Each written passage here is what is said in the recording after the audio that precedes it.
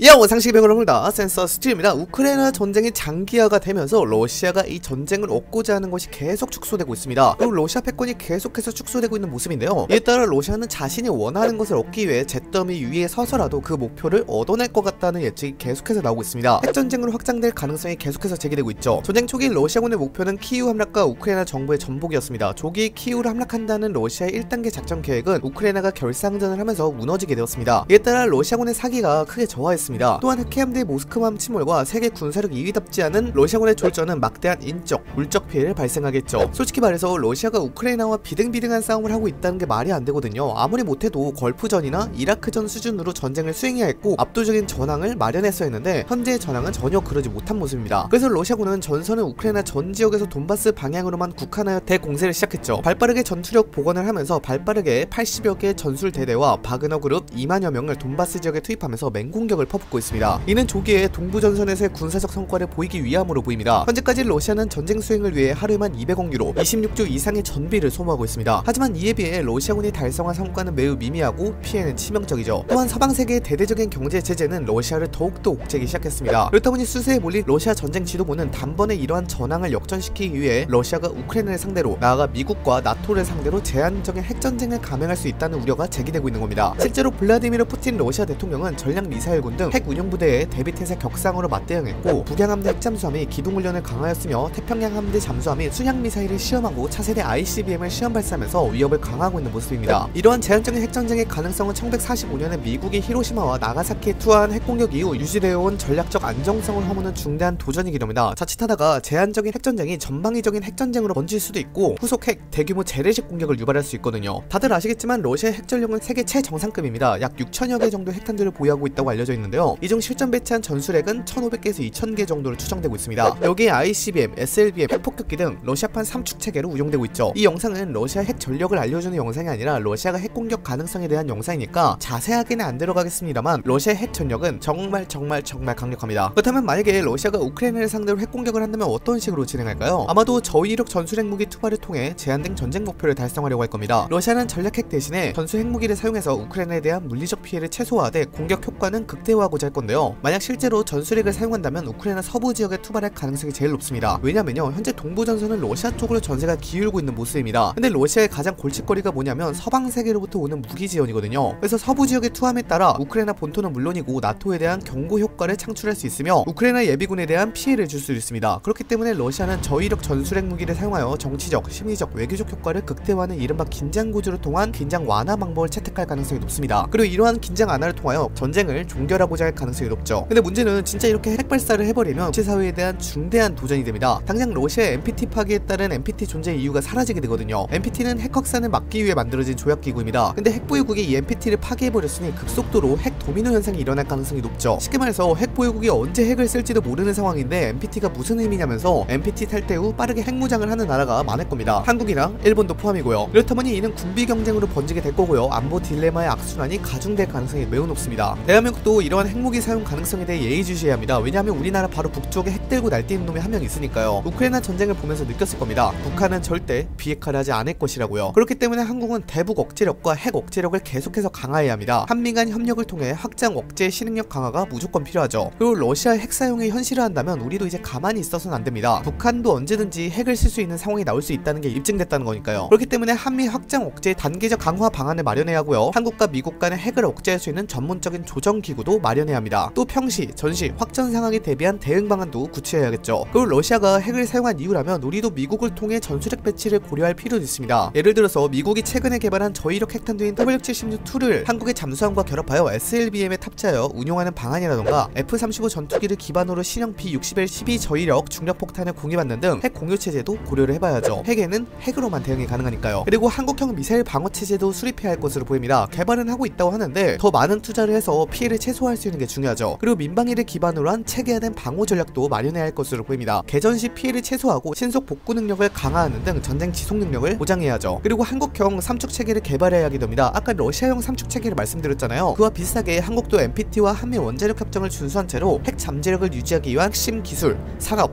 인재 양성 강화도 중요해 보입니다. 물론 결론만 말씀드리자면 러시아가 핵무기를 사용할 가능성은 극히 낮습니다. 하지만 그 가능성이 1% 미만이라고 하더라도 가능성이 존재하기 때문에 항상 예의주시해야 합니다. 의 핵무기 공격은 국제사회가 공멸의 길로 진입하는 것일 겁니다. 우리가 이때까지 살아왔던 모든 질서가 무너지는 순간이죠. 그렇기 때문에 핵전쟁 예방을 위한 실질적인 행동에 나서야 할 것으로 보입니다. 우리도 가만히 있으면 안 됩니다. 러시아가 전술 핵무기를 사용하는 순간 제3차 세계대전이 불가피하거든요. 한국도 서방세계 일원이니 이 3차 대전에 개입할 가능성이 높고요. 그렇기 때문에 우리는 계속해서 핵 억제력과 국방력 강화에 힘써야 하지 않을까 싶습니다. 영상 마치도록 하겠습니다. 빠이염!